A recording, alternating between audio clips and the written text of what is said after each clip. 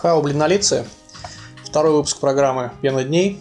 Э, я рад, что вам понравился первый, хотя, конечно, не без, не без накладок всяких было.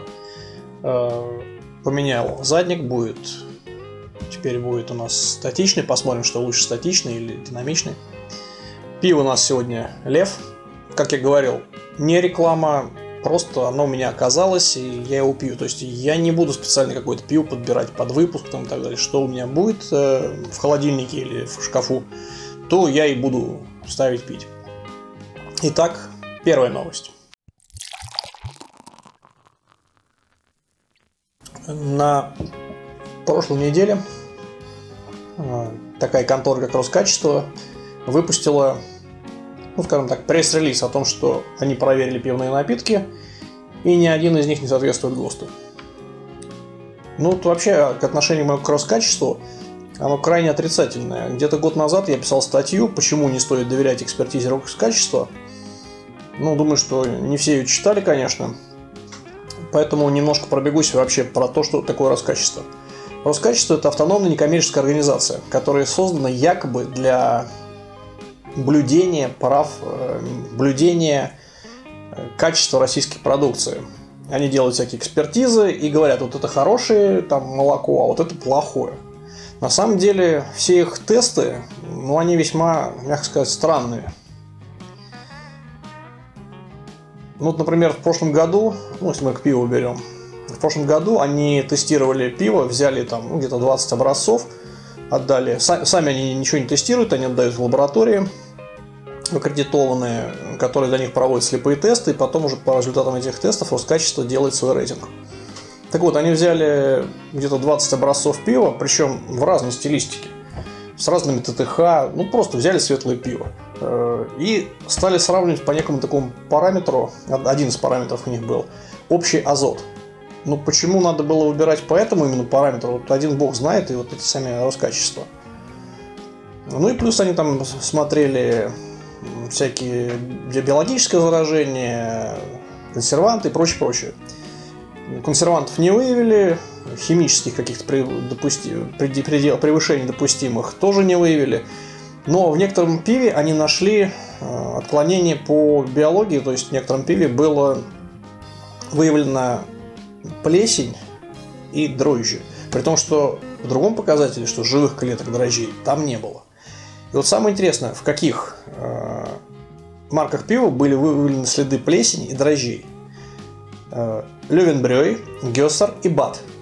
Ну, во-первых, я сильно, очень сильно сомневаюсь, что в этих марках что-то подобное может быть. Ну, просто невозможно представить себе, что на таких производствах что-то там пойдет не так. Э, но не суть важно. Это есть, э, я внизу дам ссылочку, где я писал про это. Э, мне просто попали документы внутренние этого Роскачества, где вот эти все результаты экспер- экспертиз были. Но это никак не повлияло на рейтинг. Например, пиво Бат э, получил третье место. И вот мне вот интересно, вот есть документ, правильно ли там были сделаны пробы, неправильно, это второстепенно – есть документ, в котором говорится, вот в этом пиве есть дефекты. Почему он занимает третье место тогда? Что это за рейтинг такой? Ну, в общем, претензии к Роскачеству есть не только у пивоваренного сообщества, ну, практически все профильные скажем так, объединения, все они к нему неоднократно подавали иски и даже иногда выигрывали. Например, Ставропольский бройлер у них выиграл – вот так кубанский консервный комбинат что-то проиграл. Ну, не знаю суть исков, но я думаю, что именно из-за того, что Роскачество брало как-то неправильно эти вот а, образцы анализы и так далее. За счет чего живет Роскачество? Это такая некоммерческая организация, как я уже сказал. Они получают от государства деньги на всю свою деятельность. В этом году они получили, извините, 400 миллионов. Вот, ребят, 400 миллионов люди получили для того, чтобы там, тестировать подушки для диванов, э, смотреть, а какое молоко у нас самое молочное. При том, что все их, вот вообще не только к пиву относясь, а все их рейтинги взяли мы в классе Вот просто пришли в школу, взяли в классе трех человек, там каких-нибудь, просто наугад. И их заставили бежать 100-метровку, а потом говорят, а вот это у нас лучший человек школы, лучший бегун. Ему говорят, слушайте, позвольте, он вообще на тройку у него по физкультуре. Мы провели тесты, мы там, хорошо, пятерых заставили бежать 100-метровку, вот это вот лучший человек. Да у нас еще там 100 человек в школе в этих классах. Нет, нет, нет, вот так вот. А вот этот, скажем, это Вася, это худший человек в школе. Говорит, ну как же, Вася он там по математике хорошо, бегает плохо, но по математике он хорошо. Нет, Вася худший. Ну, вот, в общем, такие вот рейтинги Роскачества. Была у меня информация о том, что кроме этого они зарабатывают тем, что тем, у кого какие-то проблемы с э, этими экспер- экспертизами, они говорят, ну, ребят, вы там доработаете, потом еще раз нам пришлите, мы сделаем повторный анализ, ну, за денежку. Ну, подтверждений у меня никаких нет за про такие вещи, но вот такое говорили. Конечно, и говорят о том, что служат на благо э, страны, там лучшие там продукты своим значком этим награждают. Но, честно говоря, не понимаю. Но вернемся э, к этим напиткам, которые пивные они выявили. Во-первых, сам термин пивные напитки – это полная глупость. Я уже неоднократно говорил и писал про это, что кроме как в России такого термина вообще нигде нету.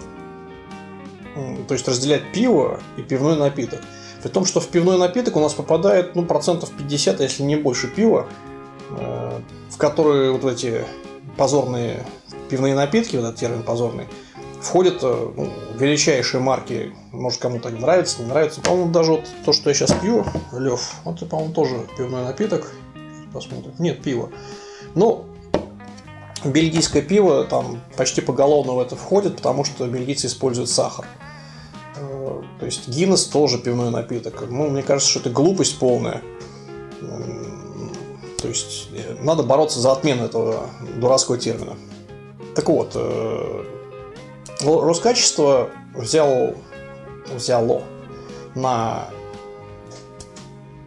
тесты 10, по-моему, пивных напитков и заявил, что ни один из них не соответствует ГОСТу. Ну, взяли-то они, ребят, не пивные даже напитки, которые, ну, нормальное пиво.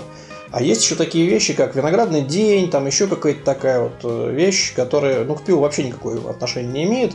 Но сам вот этот термин пивные напитки, вот сам этот э, зак, э, ну, законы эти, которые там ГОСТ, вот это все, они подразумевают, что такие вещи делать можно. Можно взять ну, там, сироп, взять газировку, взять спирт – и немножечко сусла пивного.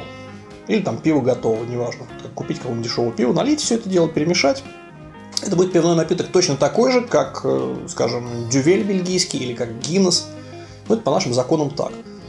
Э, и вроде бы как надо бороться вот именно с этими такими напитками, как виноградный день, которых к пиву вообще не имеет отношения. Но тем не менее, вот у нас как-то странно все это происходит, борется не с тем, чтобы вот вы сами придумали этот термин, чтобы отменить этот термин и ввести нормальное понятие пива. То есть пиво это напиток э, брожения без добавления спирта, так, ну, коротко если. Все, никаких виноградных дней больше не будет. Вот они не могут существовать тогда, но в текущей ситуации они могут. Так вот, Роскачество взяло, взяло э, вот эти вот э, псевдо-пивные напитки даже, вот этот вот алкогольный алкопоп вот этот, и сказал, что они соответствуют ГОСТу. Ну, хорошо, да, ну, благая цель о том, что показать, что, ребят, смотрите, вот есть не только пивной напиток, но есть еще и пивной напиток. Вот это две разные вещи, не будут пивной напиток, и пивной напиток. Э, но получается так, что вот этот заголовок, который вышел о том, что ни один пивной напиток не соответствует ГОСТу. Это, опять же, в корзиночку очернения пива. Э, довольно интересная реакция Союза российских пивоваров на этом. Э, они хотят ввести норму, запрещающую производство пивных напитков с использованием пива, приобретенного на другом предприятии. Ну, я не знаю, насколько это вообще действенна такая вещь. Ну, понятно, что вот эти все виноградные дни, они сами не производят пиво. Ну, это не защита в любом случае. То есть они могут поставить себе какой-нибудь там ну, котелек, э, варить там сусло или покупать не пиво, сусло, например, покупать и добавлять. Ну, даже с их объемами они могут поставить себе псевдо-пивоварню, в общем-то, ничего не изменится. То есть поставят, не знаю, пластмассовый куб, скажет, вот здесь мы бродим, а вот здесь вот мы варим. И ничего не изменится. А для пивоварения это лишний будет какой-то лишний за, за ну, я не знаю где, но наверняка, ребята, вылезет что-нибудь нехорошее, что оказывается, что, например, там, контрактники могут там каким-то образом оказаться под ударом, хотя они и так, конечно, незаконны. В общем, вместо того, чтобы бороться с самим вот этим термином, с самим изменить ГОСТ, э, все законы изменить, мы такие тут такие костыли придумываем. Это неправильно. Вернемся к первому выпуску, э, когда я заострил внимание на законе, законопроекте о запрете пивных баров и магазинов разливного пива, где продают на месте, меньше 20 метров и посетовал о том, что никто не высказался на эту тему, потому что закон очень нехороший для пивоварения. Но, видать, просто надо было время подождать, потому что высказались и СРП, и АУПР, и вот скоро Крафт-депо должно выступить.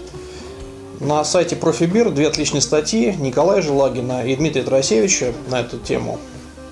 Я ссылочки внизу приведу, кто хочет почитать, я очень рекомендую.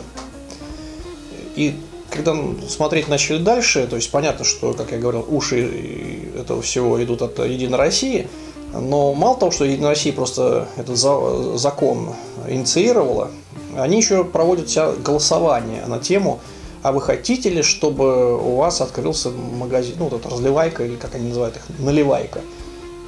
У вас в доме открылся наливайка. Естественно, большинство людей говорит, не, не хочу. Если бы меня спросили, вот, ты хочешь, чтобы у тебя э, в подъезде разливайка открылась? Сразу первая мысль у человека какая-то. Ну, воняет рыбы какой-то там, вот это все, вот так вот, с кишим пивом, ну, как, ну, я бы сказал тоже, наверное, ну, наверное, не хочу.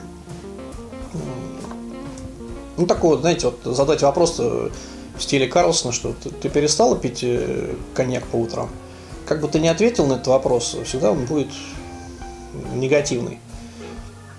То есть негативный фон разливаек, э, он целенаправленно создается для того, чтобы вот этот формат убить. А, то есть вообще разливного пива, вот это все, что то есть постоянно нагнетается. Кто это делает?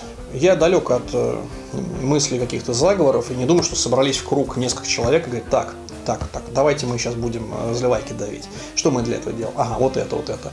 Нет, но это как в бильярде, когда вот вы хотите один шар забить там в лузу, бьете по-другому, а там еще 10 шаров там будет отскакивать от борта и там и так далее. А вот представьте себе, что вы не один играете в бильярд, этот, и не вдвоем даже там 500 человек играет на огромном бильярде.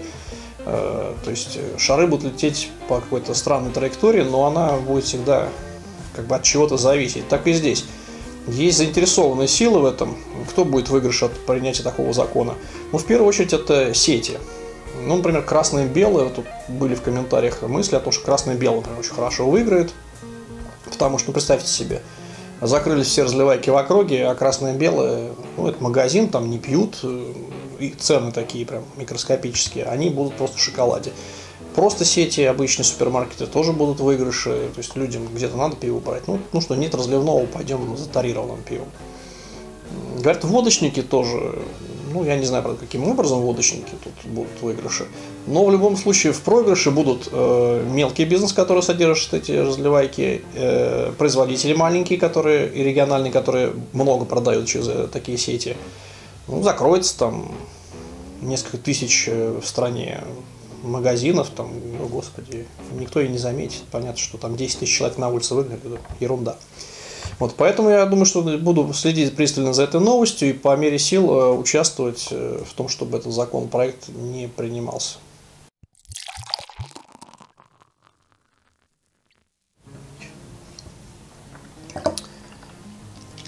Ну и в заключение к международным новостям. Э, пришла новость такая очень, скажем так, печальная, что глава Трифонтейн, если кто любит кисляки, вот эти все бельгийские, это очень известная пивоварня, которая делает ламбеки, гёзы. Арманд Дебельдер, он уходит с поста своего, как главного там, пивовара и владельца этой пивоварни. Я имел честь общаться несколько раз э, с Армандом. Это очень интересный, очень позитивный, добродушный человек, э, который сделал великое дело возрождения бельгийских вот этих традиционных кислых элей, ну и вообще очень много сделал для пивоварения. В 2016 году Арман уже продал часть своих акций некому Герту Дейку из инвестиционного фонда CVC, но оставил себе 51%. Вот теперь Герт Дейк будет владеть мажоритарно, то есть он будет большей частью акций владеть.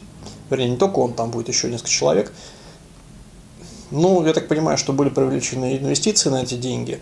И сейчас ставится, ну, они строят новый дегустационный центр развлекательный, как, как сказать, дегустационно-развлекательный. То есть там у них до этого по пивоварне, если кто был, там очень видели очень маленький такой магазинчик и очень маленький такой вот летней площадочкой, где можно продегустировать. Сейчас они строят, ну, не знаю, там или где-то рядом 25 э, миллионов евро, то есть солидные деньги, да, вот, и увеличит хранилище до 12 тысяч гектолитров, то есть это пиварня увеличится. Но это как раз вопрос к тому, что плохо, когда тебе дают деньги, или хорошо. Э, я думаю, что это хорошо, и вот этот фонд, вот этот CVC, я не знаю, что это за фонд, когда говорят, что вот дал НБФ деньги, все плохо, ты умер, ты не пивовар, теперь ты там не знаю кто. А вот CVC можно давать деньги. Ну, как говорится, деньги не пахнут, поэтому если они используются правильно и грамотно, ну почему бы и нет. Но тем не менее, жалко, что Арман ушел, ну 68 лет, сами понимаете. Э, возраст, когда уже тяжело таким темпом работать и так далее. Ну, пожелаю ему удачи, скажем, счастья на пенсии. Ну, понятно, что он будет еще заниматься всем, он не бросит э, свою пивоварню и будет по-прежнему как-то участвовать в ее делах. Все, всем спасибо, хао.